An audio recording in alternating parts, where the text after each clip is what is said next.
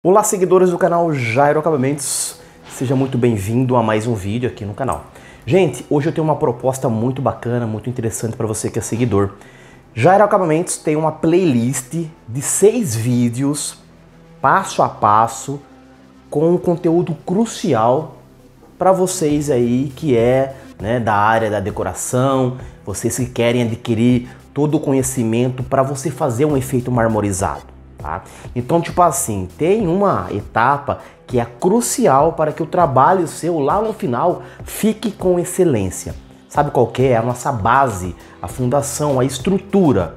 Então eu tenho uma playlist, né, contendo seis vídeos e neste vídeo agora, exatamente neste vídeo, eu estou soltando dois vídeos deste, tá? Então é uma sequência, você está dentro de uma playlist, tá?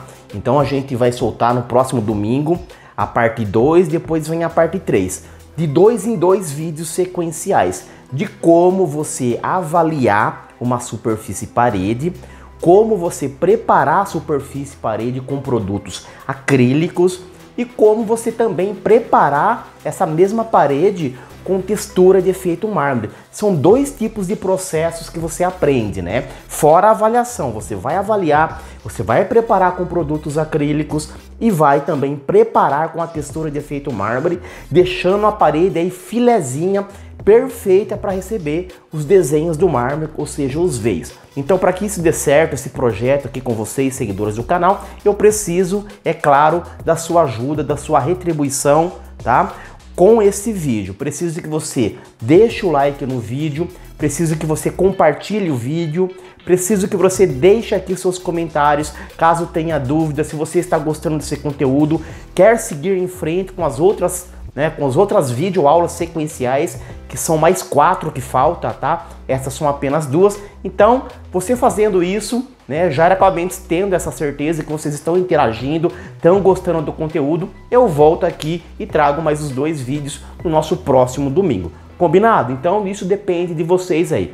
Então, sem mais delongas, vamos aos nossos dois vídeos sobre avaliação e preparação da superfície. Até mais!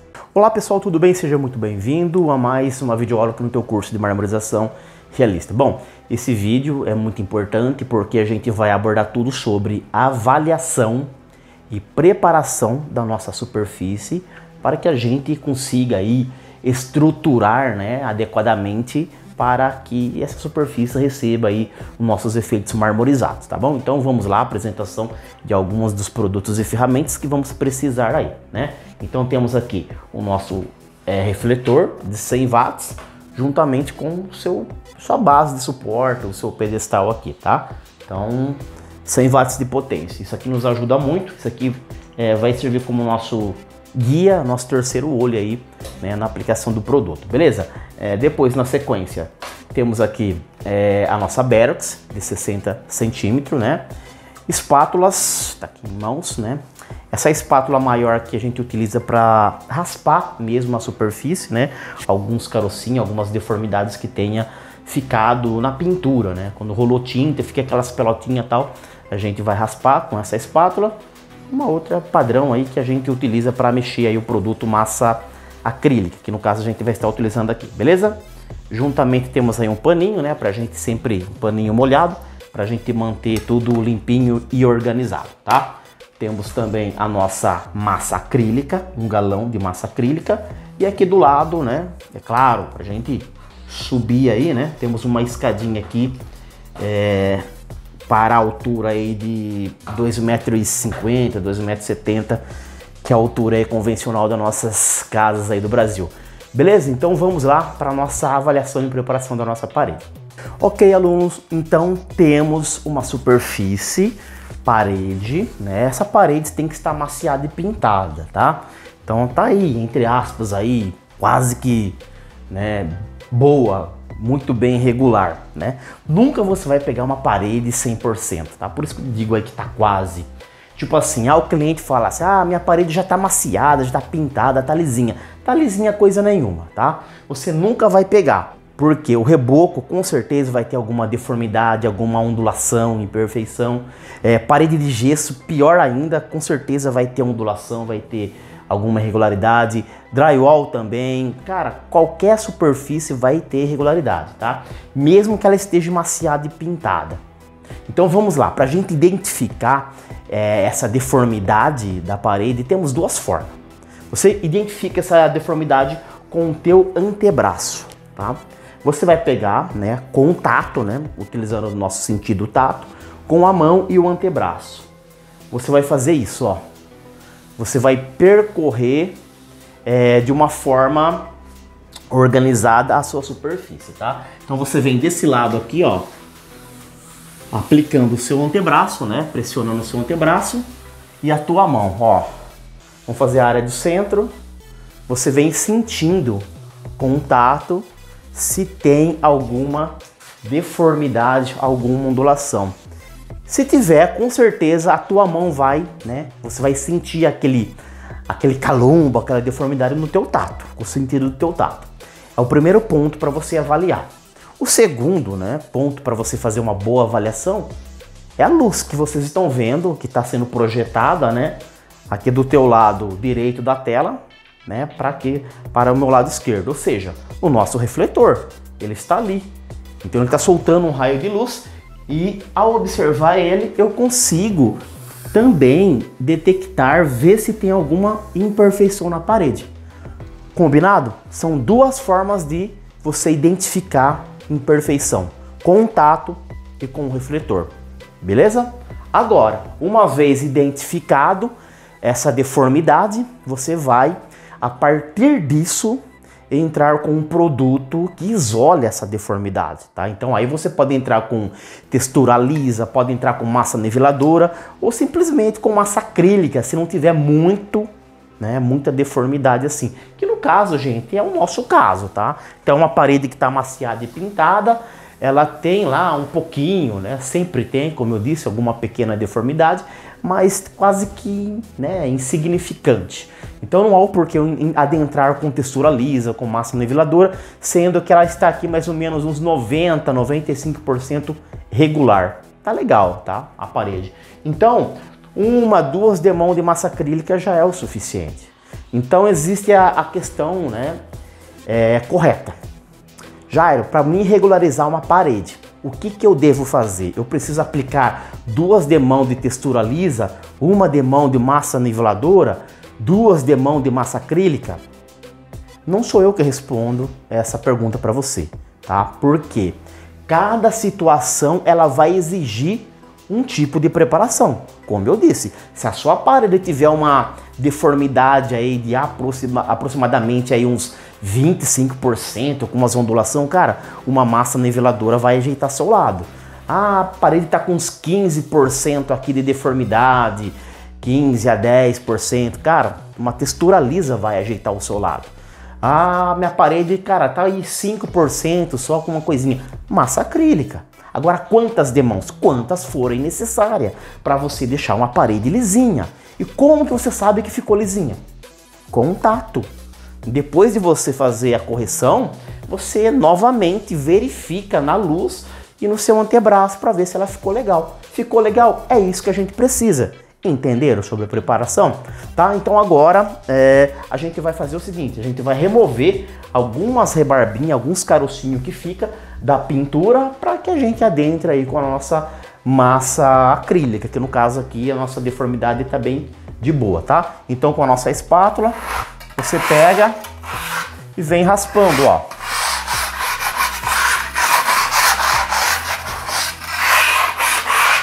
Não pressiona muito, senão o aço da, da, do metal pode marcar o seu trabalho e sujar sua parede, tá bom? Meio que de leve.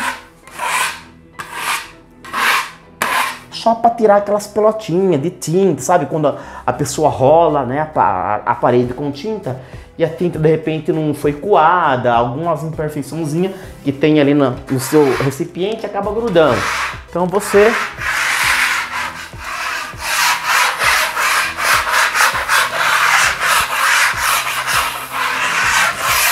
Aí você passa, tá? Em toda a superfície, ó.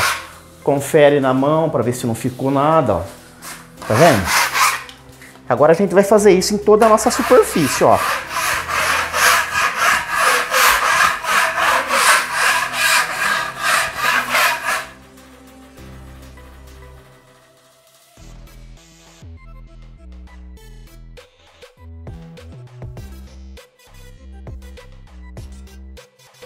Ok, pessoal, então está aí, tá? Toda a superfície foi né, raspada e tirado qualquer tipo de carocinho, imperfeição. É, outra coisa que é importante, é claro, vocês devem ter conferido aí na imagem, é o interruptor, tá? De luz, você pode estar tirando, né? É, deixando só o... É, tira aquela placa, o espelhozinho, né? Aquele espelho, aquela parte frontal é, e deixa ele afundado, porque assim você vai ter uma facilidade a mais na aplicação do seu produto, tá bom? Ou de repente você pode até cortar mesmo depois é, fazer a junção, união da, do interruptor. É muito mais fácil porque você tem uma área livre para você correr, né? Aqui no caso, ó, a gente dá uma né, pressionada nele aqui, né? Nem que for o caso a prensar com um pedacinho de papelão, de isopor, para que ele não saia para fora, tá vendo? Ele tá meio querendo sair para fora. Depois eu vou pressionar com um papelão, alguma coisinha, e ele fica lá embutido. Assim você tem toda a área livre para você correr com a sua Berox. E é claro, né, na nossa é, tiver porta, alguma coisa assim, você vai proteger, né, com a fita crepe toda a lateral da, da porta, alguma coisa assim. Lá em cima também, né, na, no teto, você faça toda isolamento, aplicação de fita aqui embaixo, tudo certinho, beleza? Agora já está tudo no jeito para receber aí a nossa aplicação da nossa massa acrílica, beleza? Então, na nossa próxima videoaula, a gente inicia então a aplicação da nossa massa acrílica aqui. Grande abraço, até mais.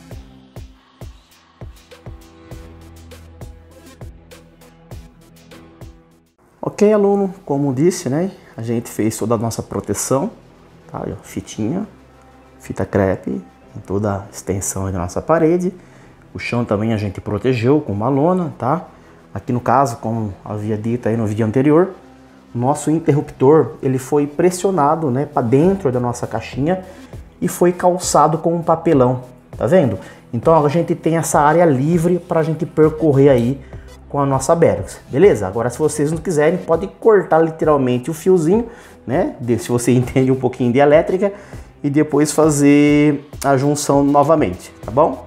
Então foi feito isso nessa caixinha, nessa e naquela outra ali, ok? Então agora a gente vai iniciar a aplicação né, de massa acrílica.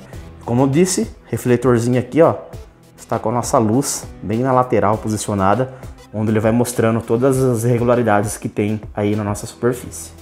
Ok, aluno? Percebe aí que estamos com o produto né, já aplicado na nossa lâmina da Berox nosso produto aí massa acrílica.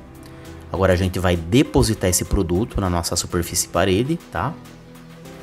Vamos transferir ele para a parede de uma forma que ele vá quase todo, tá? Ficou ali uns 60% do produto já grudou ali na parede, né? Então, onde estamos ali apontando com o dedo, que foi quase tudo, foi pressionado. Agora a gente vai pressionar o ponto X da nossa ferramenta que é o ponto que você deve pressionar para puxar, né, para esticar a nossa massa, que é o nosso X aí, né, o ponto X, que nada mais é do que o ponto de estabilidade. Olha só eu batendo o dedo ali, ó, tá vendo? Aonde estou batendo o dedo? Na extremidade, né, nas duas extremidades da nossa Berox, é justamente onde precisa ser pressionado. Tá? Mas com que força? De 0 a 10, uma força 6 precisa ser pressionado, tá? E após isso você vem esticando essa massa e controlando a sua força e o seu ângulo. Você inicia com o ângulo dela de inclinação da ferramenta de aproximadamente aí uns é, 60 a 70 graus de inclinação. Conforme você vem esticando a massa, automaticamente você vem descendo a angulação, ou seja, você vem deitando a ferramenta. Para quê?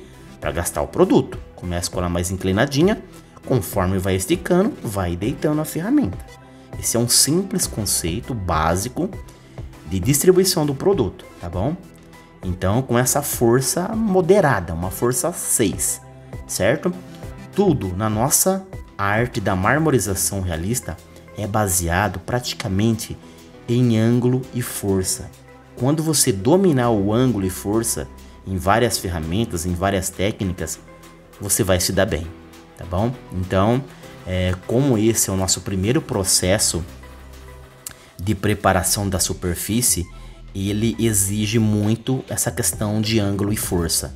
Ah, mas Yara, mas eu não tenho Bergs, eu, não, eu sou novo na pintura, ou não sou da pintura. Então vai praticar, tá?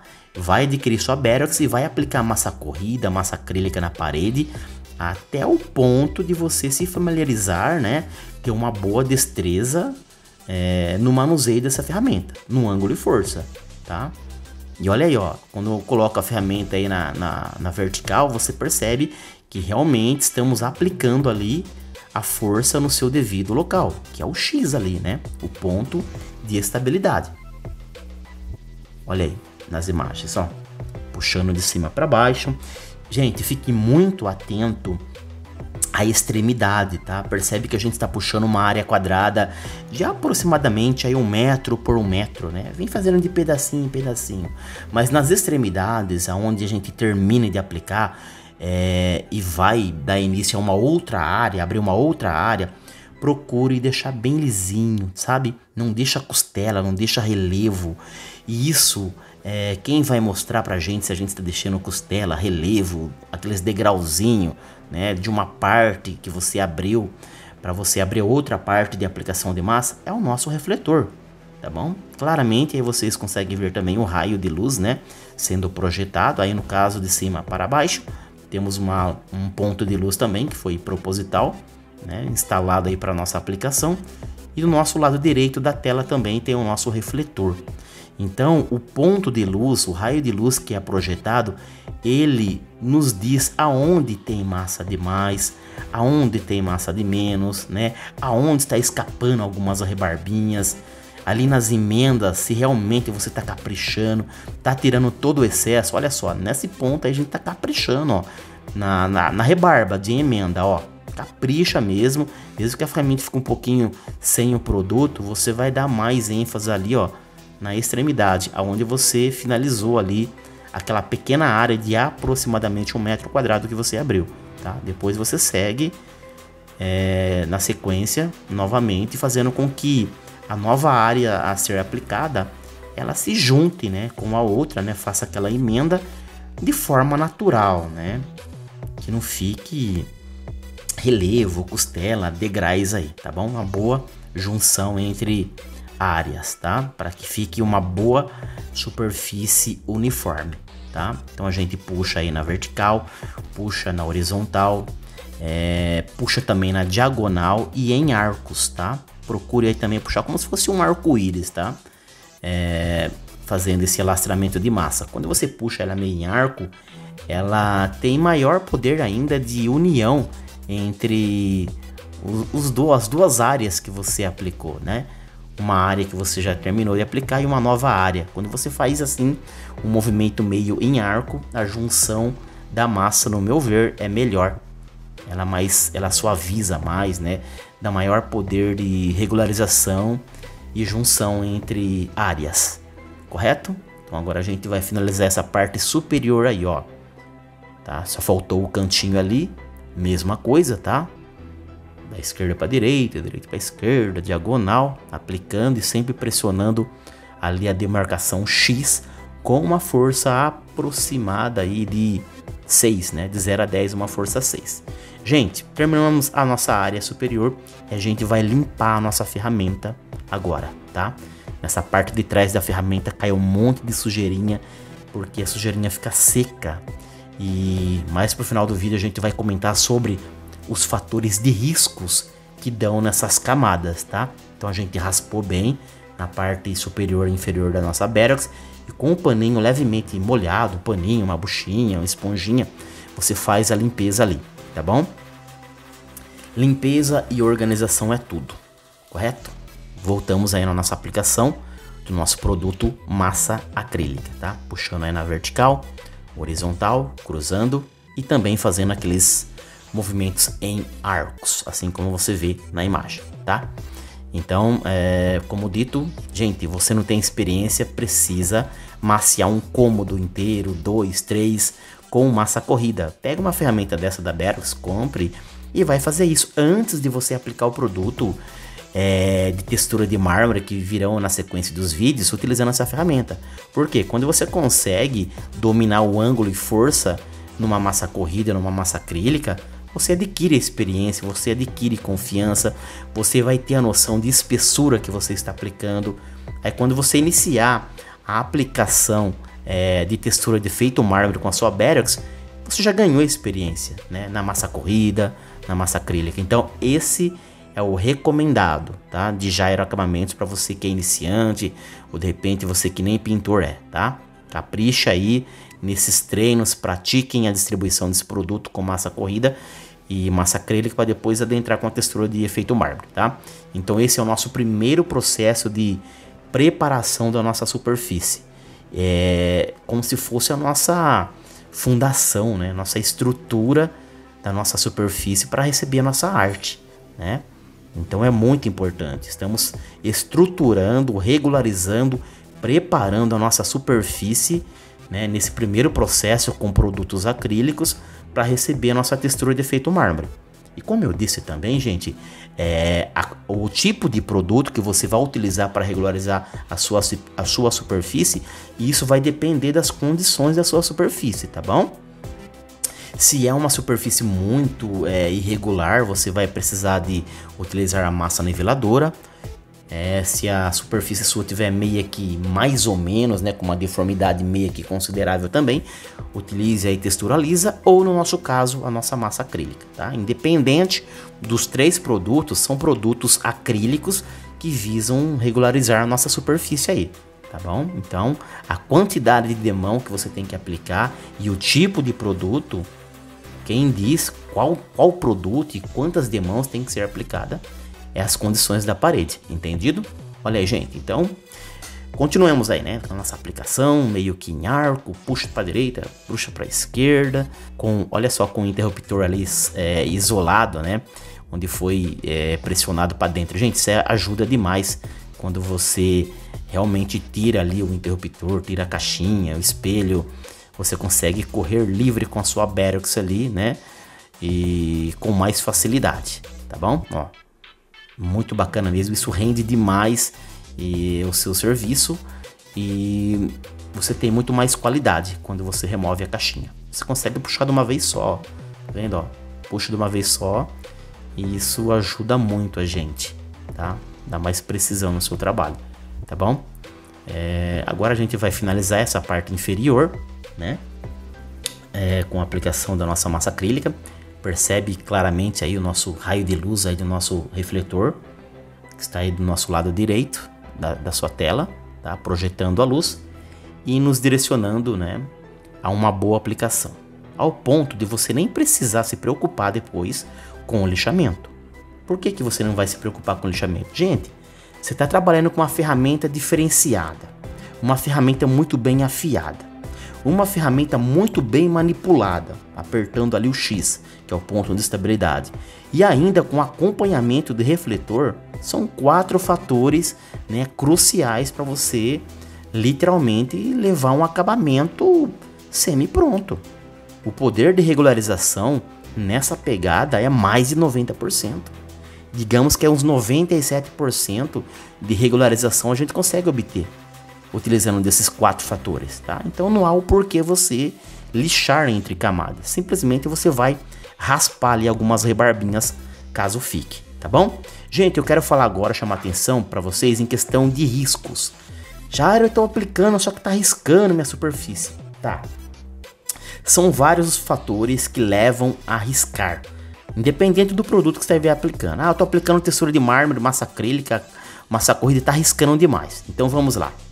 Na imagem você está conferindo aí o que o Gyro Acabamento está fazendo. Ele está limpando, tá? Limpando mais uma vez a nossa ferramenta, a nossa base aí da, da tanto da parte superior e inferior.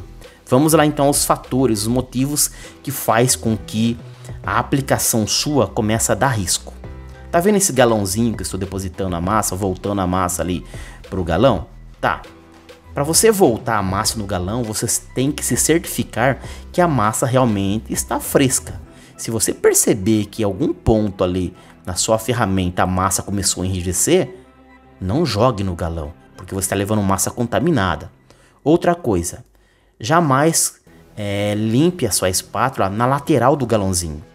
tá? Limpando a massa ali e, cara, vai cair sujeira ali dentro. Procura também deixar seu galãozinho fechado, tá? É, não deixe ele muito tempo aberto e não raspe, né? Como eu disse aí, a espátula na, nos cantos ali do, do seu galãozinho, porque isso é, literalmente vai fazer com que é, massas mais secas e contaminadas caia ali dentro do seu galão e isso, é claro, vai proporcionar riscos, tá bom? Então, a limpeza do galão ali, até mesmo limpar a, tampa do galãozinho, as, as bordas, é muito importante. Outra coisa, limpar a ferramenta, né? Como vocês visualizaram aí, né? Principalmente, é, nota-se que nessa parte superior da ferramenta da Berox é, é onde a massa é, literalmente seca e quando você passa a espátula ela começa a literalmente cair né? Um monte de fragmento de massa seca, onde essas massas acabam é, riscando, indo para a superfície qual você está aplicando o produto, tá? Então, é, temos outros fatores também, né? Fora a limpeza da ferramenta, a limpeza do galãozinho ali, temos também ah, o manuseio. Se você não depositar uma força né, mediana ali, uma força 6 e controlar bem o seu ângulo de inclinação, não pressionar o X, que é o ponto de estabilidade, isso também dá risco, tá? Então, um mau manuseio, uma ferramenta que não está preparada, outro fator aí. Você compra uma Berox hoje e já manda a bala, já coloca ela para trabalhar na parede. Não, você tem que afiar, você tem que preparar a sua ferramenta para depois você entrar com o produto. Ela afiadinha, ela proporciona um alastramento perfeito, sem riscos, tá? Então, afie ela para depois ir trabalhar com ela, tá bom? E pressione uma força bacana, moderada, exatamente onde precisa ser pressionado, que é o nosso ponto X aí de estabilidade, tá bom? Então, força, manuseio, limpeza no galãozinho e limpeza da ferramenta. São os quatro fatores cruciais, né? que ocasionam riscos na sua textura, tá bom? Anotou a dica aí? Então beleza. Então a gente aplicou a nossa massa acrílica e agora é só aguardar secar, tá? Vamos colocar o ventilador é, de frente a essa parede aí durante aí uma, uma, duas horas e na sequência a gente dá continuidade então com a nossa segunda, né? É, com o nosso segundo processo de preparação que agora a gente já vai entrar com a textura de efeito mármore mesmo, propriamente dito, tá? Então, esse foi o nosso primeiro processo de preparação com produtos acrílicos. No próximo vídeo será a textura de mármore, combinado? Um grande abraço, aluno, e até a nossa próxima videoaula. Ok, pessoal, então ó, finalizamos nossos dois vídeos dessa playlist. No nosso próximo domingo eu volto aqui e te entrego mais dois vídeos dessa série, tá? Isso vai depender de você, da interação nesse vídeo, tá? Então, ó, solta o like, comenta, compartilha, inscreva-se aí no canal se você não é inscrito, para que a gente realmente fortaleça esse laço, né? E eu tenho por onde, né, motivos de ser retribuído através disso, né? Eu vou me sentir motivado a trazer mais conteúdos assim para você, seguidor do canal Jair Acabamentos, beleza? Um grande abraço e até a nossa próxima, então, vídeo aula. Obrigado, tchau!